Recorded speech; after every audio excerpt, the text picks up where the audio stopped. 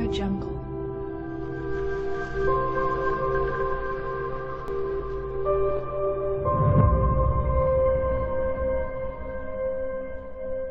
Audio Jungle. 原标题：历史上十位极品皇帝，怪癖连连缘何故？不务正业为哪般？一、同性恋皇帝汉哀帝刘欣。汉哀帝刘欣是历史上有名的同性恋皇帝，著名的断袖之癖典故就是出于他。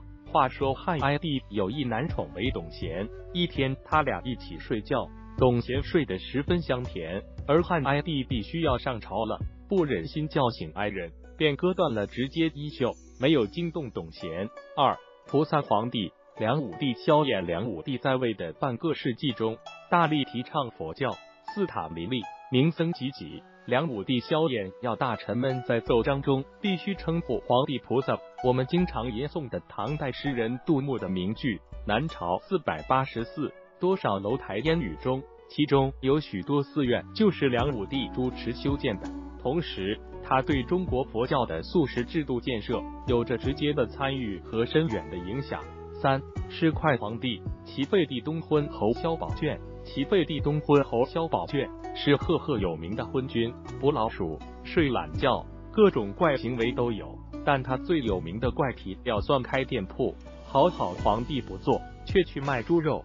四、将军皇帝明武宗朱厚照。明武宗朱厚照是明代最荒唐的皇帝，他重用宦官奸臣刘瑾、江彬，沉迷于后宫，爱好游玩涉猎。最可笑的是，作为一国之君，竟然想当将军。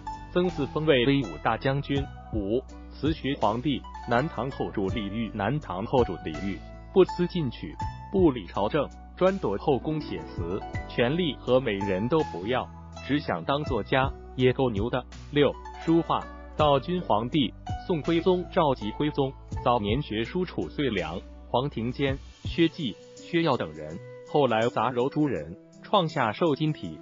他信奉道教。自称教主道君皇帝，大建宫观，并设道观二十六阶，发给道士俸禄，被后世评为宋徽宗诸事皆能，独不能为君耳。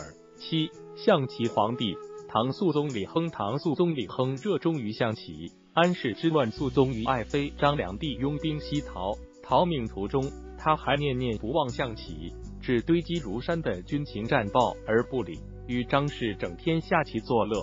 八木匠皇帝。明熹宗朱由校，明熹宗时，外有金兵侵扰，内有明末起义，正是国难当头、内忧外患的时期。明熹宗却不务正业，对木匠活有着浓厚的兴趣，整天与斧子、锯子、刨子打交道，只知道制作木器、盖小宫殿，将国家大事抛在脑后不顾，成了名副其实的木匠皇帝。九宠猫皇帝。明世宗朱厚熜世宗最喜爱的宠物是两只漂亮的猫，名曰雪梅和狮猫。后来囚龙死了，世宗几天不吃不喝，将它葬于万岁山，并立碑刻文，题名囚龙墓。狮猫死后，世宗命人用黄金铸造一棺材，将它敛人其中，并举行隆重的葬礼，还请当朝大臣为他做祭文。十蹴鞠皇帝唐僖宗李轩，唐僖宗李轩谥号骑马。斗鸡和蹴鞠，他曾得意地说：“朕若应击球进士举，须为状元。”他有时一玩就是二三个时辰，连饭都忘了吃，急得身边的太监女们团团转。他还多次勒令地方官员举荐球技高超的青年入宫陪他击球，有不少人因善蹴鞠而被封为封疆大吏。